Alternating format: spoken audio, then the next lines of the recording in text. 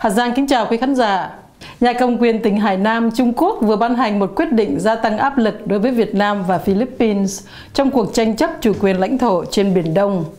Tờ Trung Quốc Nhật báo bản Anh ngữ hôm 28 tháng 11 đưa tin rằng quyết định trên có hiệu lực kể từ đầu tháng Giêng năm 2013.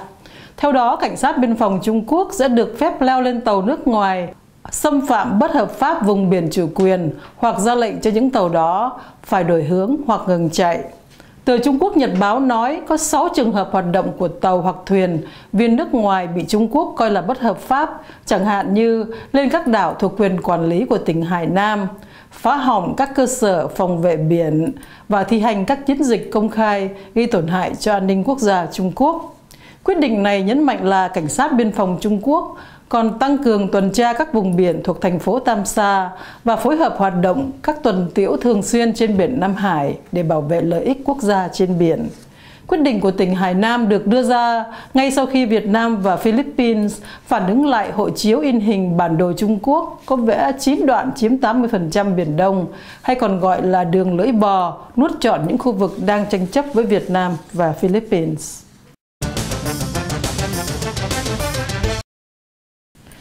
Tòa đại sứ Mỹ tại Hà Nội vừa đóng chương mục mà họ mở trên báo mạng Dinh tại Việt Nam vì các cáo buộc là trang mạng này ăn cắp bản quyền sở hữu trí tuệ.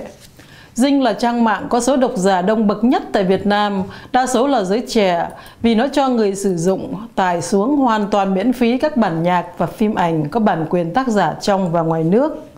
Chương mục của Tòa Đại sứ trên mạng Dinh nhằm quảng bá các giá trị văn hóa Mỹ, trong đó gồm cả quảng bá về tôn trọng bản quyền trí tuệ. Hôm 28 tháng 11, phát ngôn viên của Bộ Ngoại giao Hoa Kỳ là ông Mark Toner cho hay Tòa Đại sứ Mỹ tại Hà Nội đã đóng chương mục trên Dinh. Ông nói rằng Tòa Đại sứ hy vọng sẽ mở lại chương mục này khi nào có các tiến bộ đầy đủ về vấn đề trả bản quyền. Tháng trước, hãng thông tấn AP khám phá ra rằng Tòa đại sứ Mỹ tại Hà Nội và một số công ty quốc tế như Samsung, Coca-Cola đã quảng cáo sản phẩm của họ trên Zing. Sau bản tin của AP, hai hãng Coca-Cola và Samsung vội vã cắt hợp đồng quảng cáo và Bộ Ngoại giao Mỹ đã loan báo sẽ xem xét lại việc sử dụng mạng Zing. Bắc Hàn vừa thay thế Bộ trưởng Quốc phòng bằng một viên tướng, được xem là có khuynh hướng cứng rắn và từng chỉ huy các cuộc tấn công bất ngờ gây thiệt hại lớn cho phía Nam Hàn vào năm 2010.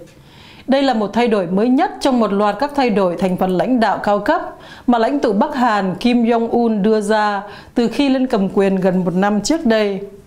Giới ngoại giao Bình Nhưỡng cho hay họ được cho biết là Kim Jong-gak, Bộ trưởng Quốc phòng đương thời đã bị ông Kim Kyok-sik thay thế. Ông Sik là vị tư lệnh các đơn vị có liên hệ đến hai cuộc tấn công vào Nam Hàn năm 2010. Giới hữu trách Nam Hàn nói rằng họ cũng có các tin tương tự nhưng không cho biết thêm chi tiết. Ông Bae Sung Yu, một phân tích gia tại Viện Nghiên cứu Quốc phòng ở Seoul, nói rằng Kim Jong-un đang tìm cách kiểm soát quân đội bằng cách đưa những người trung thành vào các chức vụ chỉ huy cao cấp và tạo sự căng thẳng trong các tướng lãnh qua các cuộc thay đổi nhân sự nói trên.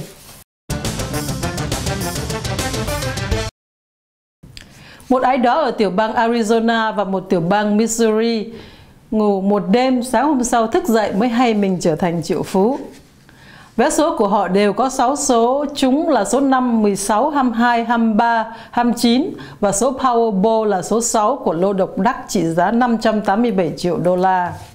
Lô độc đắc này được sổ 16 lần liên tiếp mà không có người trúng và giới chức Powerball tiên liệu kỳ này xác suất có người trúng sẽ là 75%. Đây là lô độc đắc lớn thứ nhì trong lịch sử sổ số của Hoa Kỳ, thu hút nhiều người vốn chưa từng mua hoặc hiếm khi mua vé số. Mức vé bán ra trên toàn quốc đã lên đến 130.000 vé trong mỗi phút, cao gấp 6 lần so với mức bán của một tuần trước đây. Một vé trúng được bán ra tại Kansas City nhưng người chúng chưa ra mặt.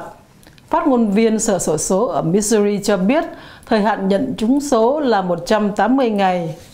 Một vé số trúng khác đã bán ra được ở Arizona, nhưng giới chức sổ số ở đây cho biết sẽ công bố địa điểm bán vé này sau. Hiện chưa rõ các vé trúng này thuộc sở hữu của một cá nhân hay của một nhóm người cùng mua chung vé. Kết quả một nghiên cứu vừa được đăng trên tập san Environmental Science and Technology cho thấy vật liệu làm đi văng hay ghế trường kỳ ở Mỹ có chứa chất gây ung thư. Cuộc nghiên cứu từ 104 chiếc đi văng xác định rằng 85% trong số này có tráng bằng hóa chất chống cháy độc hại cùng những chất khác mà các nhà điều tra chưa có đủ dữ kiện. Các khoa học gia ở hai trường đại học Berkeley và Duke cho biết 41% các ghế đi văng có chứa chất chlorinated tris, một chất gây ung thư, và 17% có chứa chất pentabde bị cấm sử dụng trên khắp thế giới. Theo tổ chức Mother Jones, nghiên cứu cho thấy 94% các ghế đi văng làm từ năm 2005 có loại hóa chất được xác nhận là độc hại, chiếm khoảng 11% trọng lượng của đệm lót. Liên đoàn đóng bàn ghế toàn quốc American Home Furnishings Alliance cho hay vấn đề bắt đầu khi ngành kỹ nghệ này tìm cách làm cho sản phẩm của họ không bắt lửa, trong khi vẫn phải cố gắng giữ không có chứa hóa chất độc hại. Bản tin hàng ngày đến đây là hết. Hà Giang chào tạm biệt quý khán giả.